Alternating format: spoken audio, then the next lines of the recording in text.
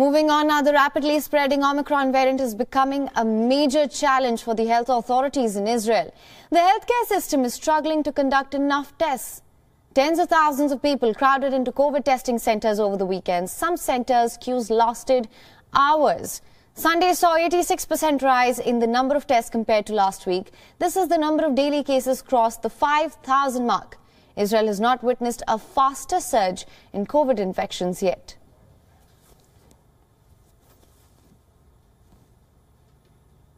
And you can see that the line is crazy. I'm not sure that this is the right system to do it, uh, relying on the PCR test as it is right now. And as for the new variant, I'm not sure that uh, the hysteria is, uh, is making any sense.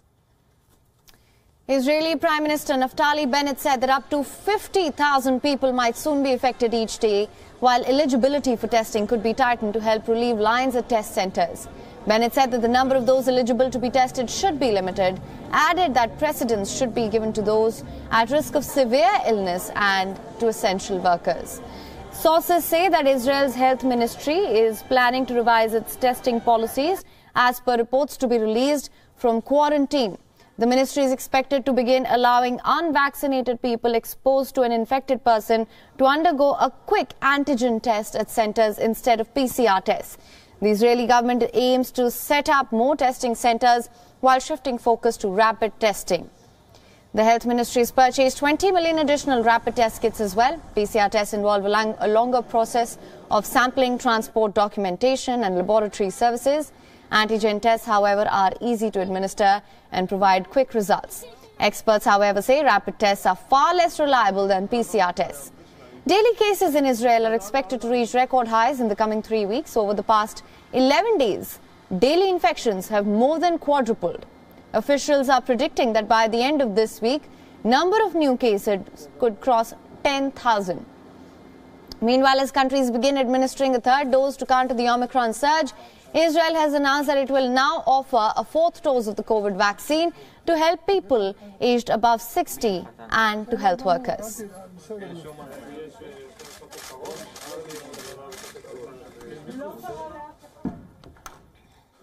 Uh, Israel started preparing for Omicron early on. Uh, this bought us time, which we're using to our advantage. Last week, Israel began vaccinating its most vulnerable citizens with the fourth dose of the COVID vaccine.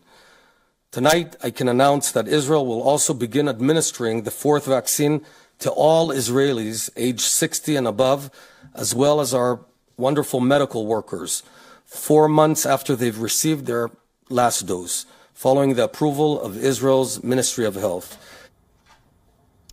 Now, in Israel, it has been suggested that up to a third of Israel's almost 10 million people could contract the Omicron variant of COVID 19 in the next three weeks.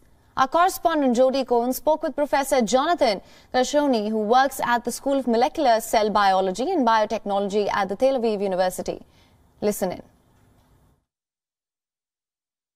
So, one shortcoming of the current COVID vaccines is the amount of time they're effective for. What can you tell us about the development of longer lasting COVID vaccines?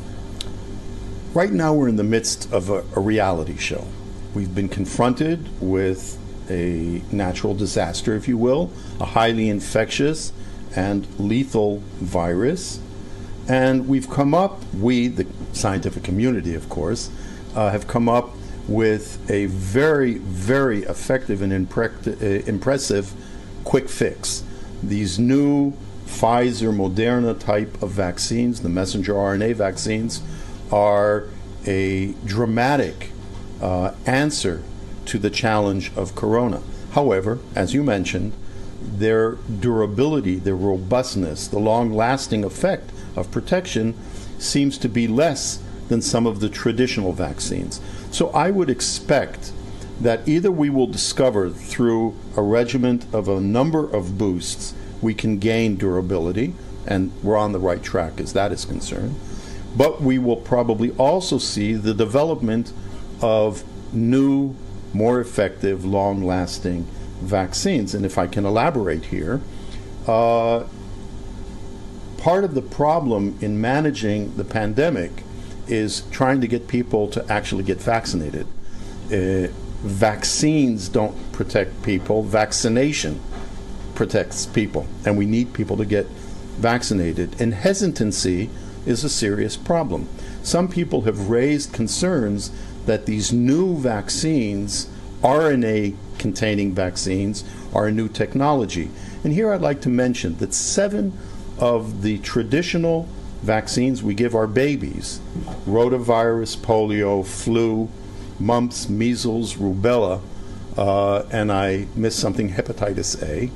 These are all RNA containing viruses. The vaccines are live attenuated RNA viruses. And these have been used now for decades, 50 years and more. They've proven to be extremely effective, extremely durable, and extremely safe.